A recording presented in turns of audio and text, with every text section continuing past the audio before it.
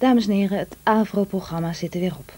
We gaan nu naar huis, maar aanstaande maandag zijn we natuurlijk weer bij u terug. Zo, en dan rest me nu alleen nog u welterusten te wensen.